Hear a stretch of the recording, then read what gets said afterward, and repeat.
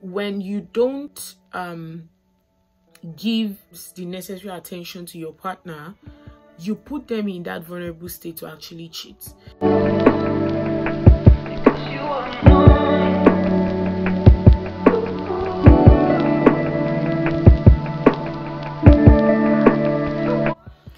Hey guys welcome back to my channel.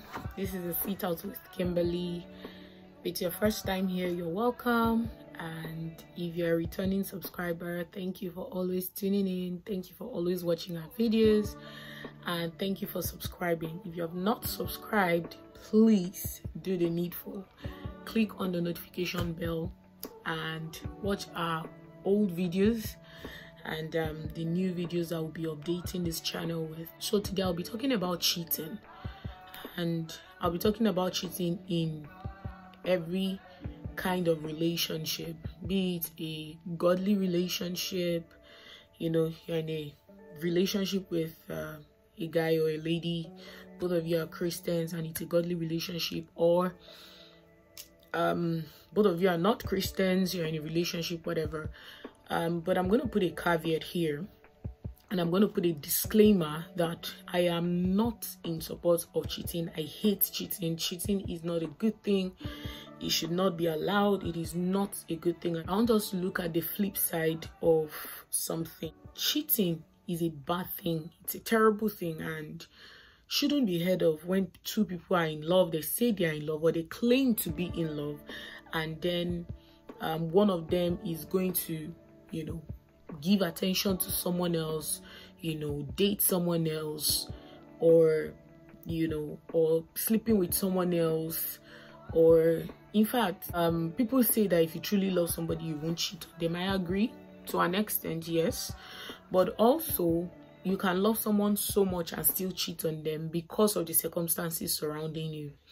And I'm not in any way invalidating the effects of cheating. Neither am i saying that cheating should be allowed or it's a good thing. No.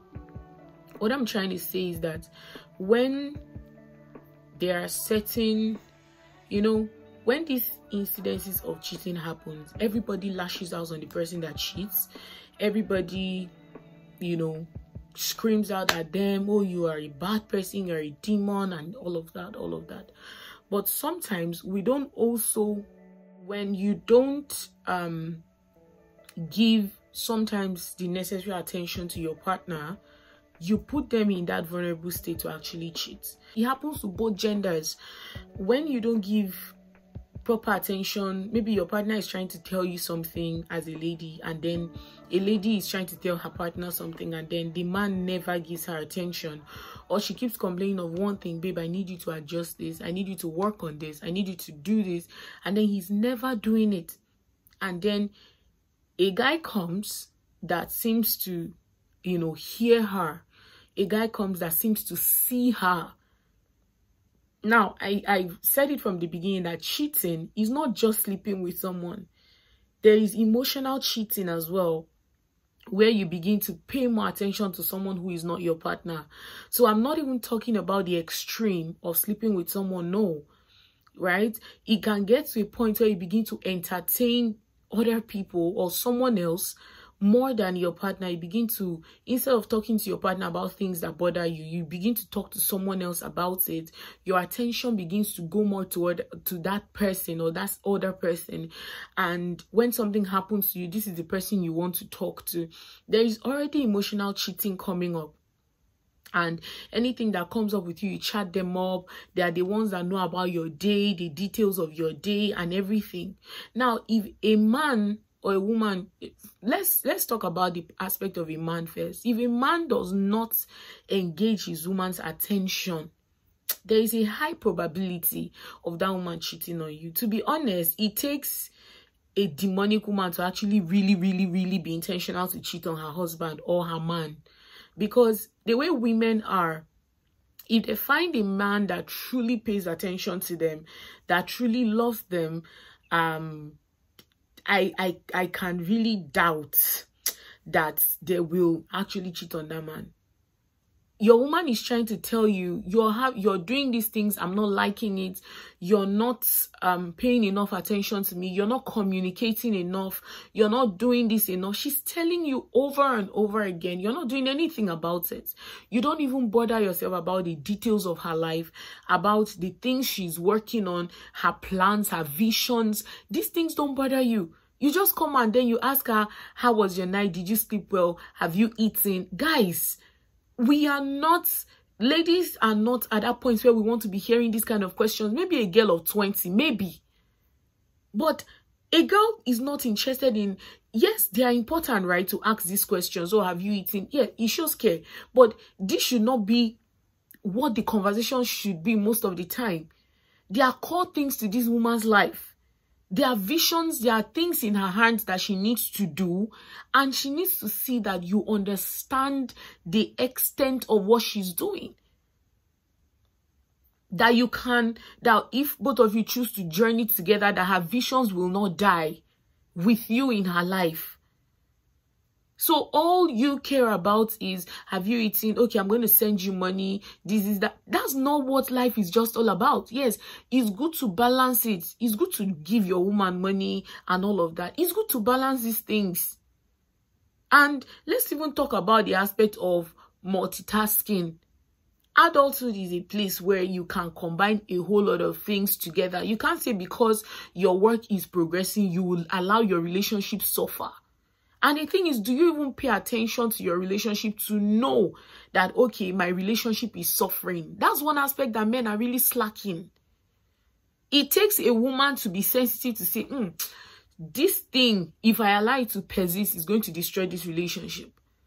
But it's very hard and rare to see men that actually pay attention and say, mm, this thing, if nothing is done about it, it will destroy this relationship. And is the relationship even that important to you that you will say, okay, babe, I'm noticing this. Let's work on this. Let's check this. Or you just be quiet until things begin to fall apart.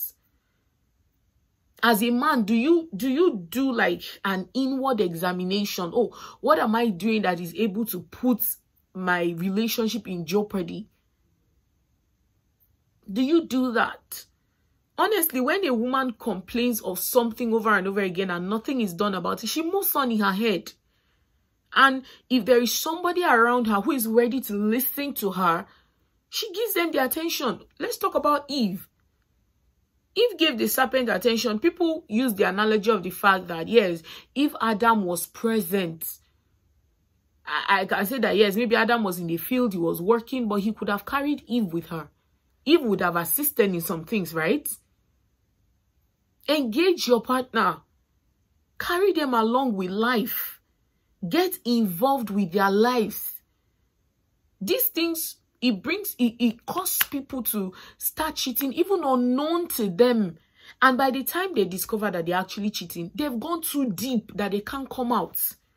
It now takes the grace of God to pull people out. But all what we humans see is when they make the terrible mistake and then everybody points fingers at them and they're like, oh, you've cheated on your partner, you're a bad person, you're this. But if nobody enters a relationship with the mind of wanting to cheat on their partners. Nobody. And then let's talk about the other gender, which is the female side. If you're always nagging at your man, men want peace and respect. If you're always nagging at your man, every little thing you nag, a woman that gives him peace of mind, he will start talking to that lady. He will start conversing with her. Because he feels that when he comes to discuss anything with you, the next thing, you people will start quarreling. Men want peace. And as a result of that quarrel, you know, there is that destabilization and all of that, and that happens, and then he wants, he just wants peace. So he moves on to the lady who, who, you know, will give him peace of mind. And ladies, to be honest, rather, ask for wisdom from God on how best to communicate your points to your partner. To be honest, oh God, I used to have a very funny way of communicating my points. And I'm still learning to communicate better. I would want to force down my point down your truth. But maturing has taught me that you learn that everybody has their perspective. And there are some things that you need to pray for your partner that the Lord should touch their heart to see your point, not force it down their truth. So when you begin to do this, or you begin to give your partner certain space, this silent treatment, instead of, you know, coming to sit down with him to talk about certain things, you create that space between you and your partner and then you give him room to get close to other ladies. And another thing I'll say is don't break up with your man over things that can be resolved by, between the two of you. Don't break up with him thinking, oh, he will value you more. Ah, they want yourself. That guy will move on. There are ladies hawking around men like water. He will move on. He will start getting close to other ladies. And by the time you return back, you discovered ah, this man has gone. So men want respect. Men want to be talked in a certain way. They want to be, want to be regarded. And men, please, if you've been with, I'm, I'm still going to talk about this in another video, but if you've been with a lady for more than two years, do the needful. If you're not ready to get married to a lady, do not date her. Please don't, don't waste their time. A man can get a woman pregnant at any age. A woman, she's thinking of menopause from 45. And how many years do we have to live on earth? Please, if you are in a relationship with someone, take their life seriously. Don't be selfish and self-centered and just self-seeking. Stop thinking of only yourself. The energy you give to your partner determines if they will start looking for, for validation from other people outside. When you don't give your partners, your wives enough attention, they begin to seek validation outside. And that can in turn be detrimental to your relationship, except you don't value the relationship. Because there are men seeking after your woman like there is no tomorrow. And there are women seeking after your men like there is no tomorrow. So value what you have. You won't have it forever. Someone else will come and take it from you and nurture it and groom it to grow. This person is given. Now, still talking about creating boundaries and self-respect and all of that the next thing is to guard your heart with all diligence because out of it proceeds the issues of life. Very important. Your mind is very important. Your heart is very important. Protect it. Shield yourself. It is not everybody you entertain and it's not every good thing that is for you. To be honest, there are some things you need to shut the door to. So learn to say no when you have to say no. Learn to keep people that are not meant to, you know, you've prayed, this person is not meant for me. Learn to decipher what their relationship should be in your life and place them in that place. If they are meant to be friends, keep them as friends. If they are meant to be acquaintances, maintain that. I, that's one aspect of my life I don't play with. I will make it very clear to you that you're not my friend, you're an acquaintance. So that you don't start assuming things. Do you understand? So, this is very crucial protect your heart, protect your emotions. And guys, please help your partners out. Help them. And when you start noticing that you're developing feelings for somebody, if you have a mature partner, please communicate with them. Remember I said mature. If you have an immature partner, then confide in maybe a spiritual head. If you have somebody you're accountable to talk to the person. I'm in a relationship and I'm I'm having these feelings towards this person or this person is coming into my space and all of that communicate with someone. But if you have a mature partner who can walk you through certain um attractions talk to your partner babe i notice i'm really liking this person. I think i need to give him more attention. I love those kind of relationships. And i'm happy to i'm very proud to say i have one or such. Where i can easily say ah babe I think I'm liking this person. Ah, please, when I'm talking to this person, they encourage me not to, you know, and all of that. Let them walk you through such moments. Have boundaries.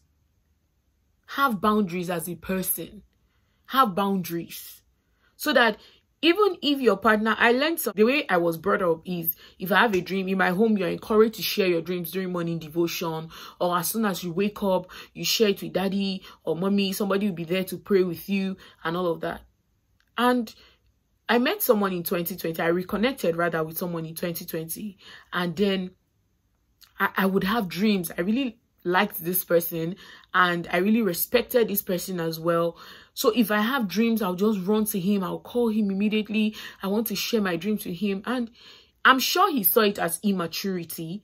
But one day he said, no, this is not cool, right? When you just wake up from dreams, don't, don't just share them. Take some time to pray about them before you come to talk. In fact, there are some dreams you don't have to share. And I said, oh, really? And then I explained to him that growing up, we were encouraged to share dreams when we wake up from our sleep.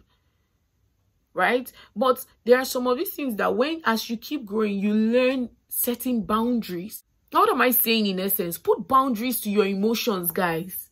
We've talked about, yes, the reason why your partner might cheat lack of attention, lack of communication, you know, you're not hearing them out, you're not seeing your partner. You're not putting yourself in their shoes. You're not even, um, you're not compassionate towards your partners. So when somebody else who has these other qualities come around them, they give them the attention. And trust me, there will be somebody who is always better than you. Whether you like it or yes. But now the solution to this on our own part is boundary, self-boundary. I, I, I remember one time I went to minister somewhere in Cyprus and um with me to this ministration. The the person who they sent to come and pick me up for the administration. After the administration, this person reached out to me and said, I'd like to take you out. I really like you. And and I told him, I said, I'm sorry, I don't want to go. And my boyfriend said, Oh, that's that's um I should have told him I'm in a relationship. And I told him, I said, let me tell you something. Whether I'm with you or not, I will not entertain this person. Why? Because I have personal boundaries. Do you understand me? So have your personal boundaries that even without your partner being in the picture, that you're able to respect yourself first. Self-respect. You, you can't always just do things because of your partner. Yes, that is also there. We will come to that. That's the second thing to be done. But there should be that place, place of self-respect Respect yourself. Respect yourself. That when certain advances are made at you, you are able to cut it. No, I'm not entertaining this. I'm not interested in this. right and then the second aspect is now because of the respect you have for your partner yes there might be um there might not be everything you pray for and hope for right? But if you have chosen to be with this person if you're sure and you're certain that this is the person god has chosen for me then you now have to start praying about their excesses to god. Like there is a way that god speaks to people. I remember a, a friend of mine um was about to tell me something and he kept praying about this thing he was praying about it before he got to my house that the Lord should actually speak, or maybe speak to me or make it easy for him. I can't really remember. And on my way coming back from work that day, God had already spoken to me about this thing. And then when I came home and he came to visit me, I was telling him in excitement. I was like, oh my God, you won't believe what God was telling me today. And he was like, my God, do you know I was praying to God to actually communicate this thing to you in a healthy way? Like, I, I didn't want to hurt your feelings. And I was not hurt because God had already spoken to me about it. In fact, I was excited. There is a way you can pray for the emotions of your partner that God can straighten out certain things in them. Develop long suffering. Love is patient and love is kind. Develop long suffering. I know that some of you will say that, do you know how many years I've been with this guy or this lady and she's still misbehaving? Now you now have to look at it. Is this person the right person for you? Because let's not mix it up. There is a tiny line between tolerating someone and taking nonsense. Red flags. Tolerating red flags. No. There is a tiny line in between. We'll have a video on this as well. What should you tolerate and what should you not tolerate? There are red flags in relationships that you should run away. Guard your heart, guys. The Bible says, guard your heart with all diligence, for out of it proceeds the issues of life. Emotions are very powerful. When you start entertaining certain people, it just takes a matter of time, right? You are talking to them and like, ah, ah, this person is amazing, no this person is wonderful. My partner is not even doing this thing this person is doing. Your mind begins to make comparisons between your partner and this other person. And gradually, you begin to consider them that, ah, ah, what if I'm with this other person? What if this is the person I'm even with? You know, I'll be doing way better, right? Because my partner is not giving me this. Thing. Your take home from this video is develop self-control. I had a bit of fever at work and I had to get um IV um paracetamol. So that's that i'm not sick guys. I'm not really sick. That's why i have this on. Just i might still take some injections today. That's all. I'm not sick. I'm fine. So um your take home from this video is boundaries personal boundaries um self-control respect for your partner. Um what else did we mention I talked about the fact that also put yourself in the shoes of your partner. Give your partner attention, please. If a woman is complaining to you, babe, I don't like this thing, listen to her, guys. If you love that woman, if you don't want to lose her, listen to her. Babe, I don't like this thing. Listen, women can think up a storm by you not responding to them. They would think you are giving another woman attention if you're not listening to them. So pay attention to your woman. Women, respect your man. Give him peace of mind. It's not everything you must comment on. There are certain things that just be patient at the right time. You will have your time to talk. Okay? You will have your time to make your comments. It's not every time you just are in a rush to talk. No. Overlook some things. A time will come for your response. And there was something God told me. He said, pray for the heart of your man. Pray for his heart too. I learned something recently. Pray for the influences around your husband. Oh. Pray for the associations around him. That they are the right associations. And pray that your husband is firm in God or your man. That he's firm in God, that he's able to tolerate, um, even if he's in the he's the only Christian amongst worldly people, that God is able to keep him to stand though. Guys, as well. Thank you so much for watching this video. Um stay tuned for uh subsequent videos. My name is kimberly benson and this is the sit out with kimberly. Do well to subscribe to this video if you enjoyed it. Thank you for watching till the end. Bless you bless you. Love you guys